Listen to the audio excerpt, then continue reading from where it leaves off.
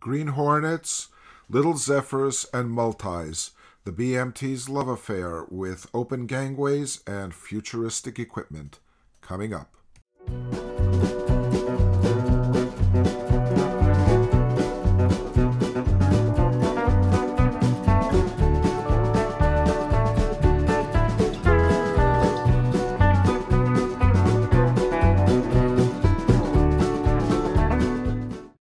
This video, we will discuss the multiple section cars of the BMT, beginning with the experimental Green Hornet and Little Zephyr, and moving on to the production models, which were called the Multis.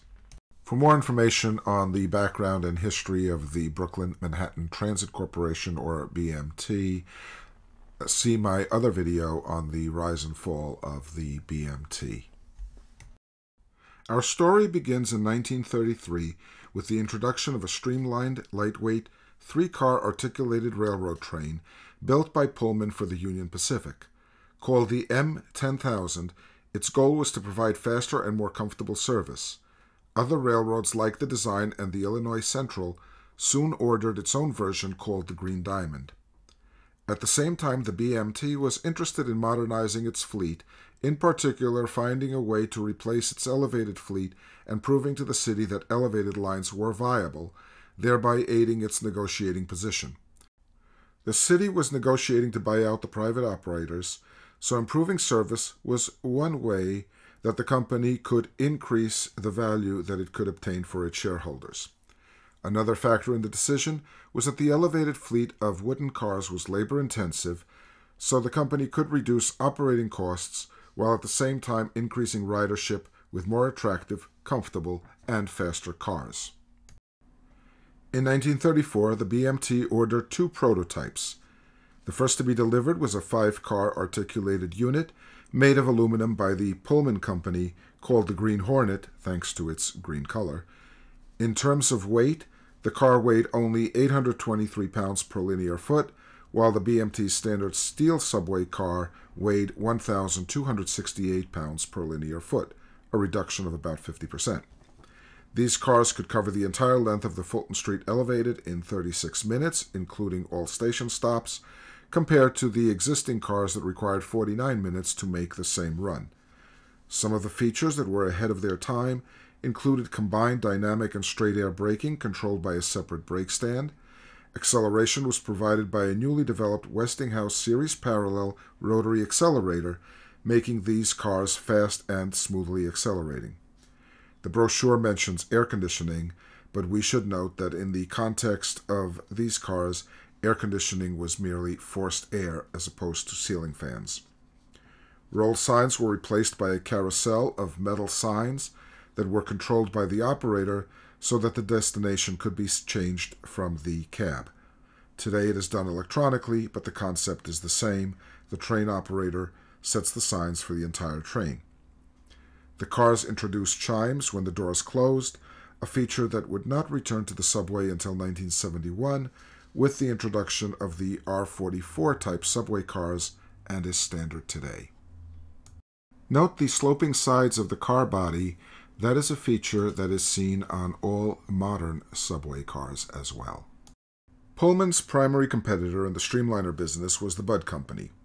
Their entry was a car made from stainless steel that resembled the Zephyr that they had built for the Chicago, Burlington, and Quincy Railroad. Dubbed the Little Zephyr, the car body was welded into a shell of thin, light stainless steel as opposed to the riveted heavy steel used previously. This was the first time that stainless steel would be used to manufacture transit cars. The braking system used eddy current electric braking, which did not require the application of brake shoes, making for smoother and quieter braking. Like the Green Hornet, it also used automated signs, but did not include the chimes. Both the Green Hornet and Little Zephyr introduced full-width cabs, something that is becoming standard once again in the subway system to the lament of most railfans who miss the so-called railfan window, that is, being able to look out the front of the train.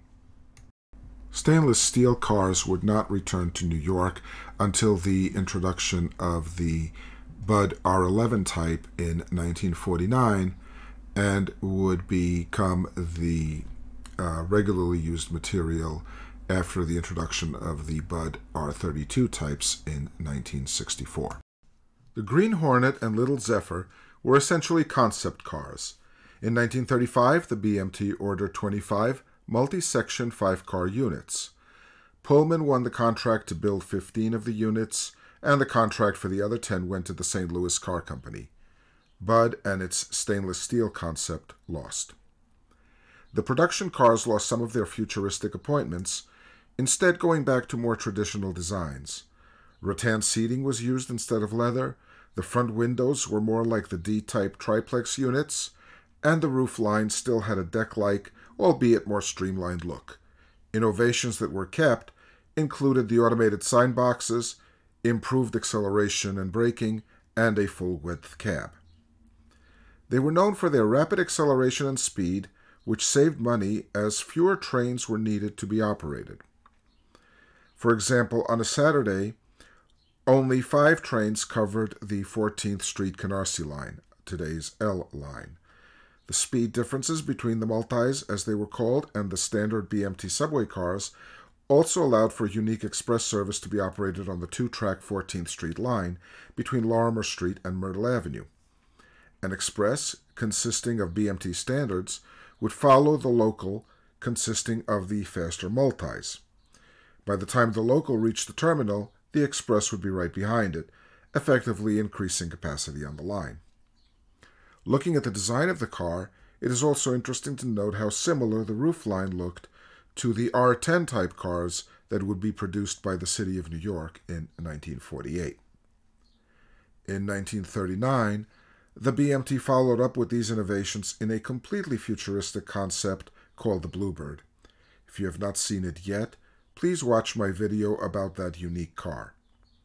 Sadly, in 1940, the BMT was taken over by the City of New York, and innovation and experimentation gave way to standardization. We will never know how advanced rapid transit car design could have come had they remained in business. None of these cars survived. In 1943, the Green Hornet was the first to be scrapped since it contained aluminum, which was vital to the war effort. The Little Zephyr remained in service until 1954 and was finally scrapped in 1958. The other multi-section cars remained in service until 1961. A note about the future of this channel and the direction I am taking. You may have noticed that the intro has changed. That is because in addition to my historical documentaries, I am making trips to various locations and will be filming railroads as well.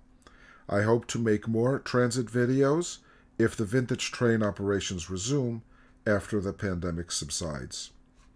Thank you for watching, and please subscribe to this channel.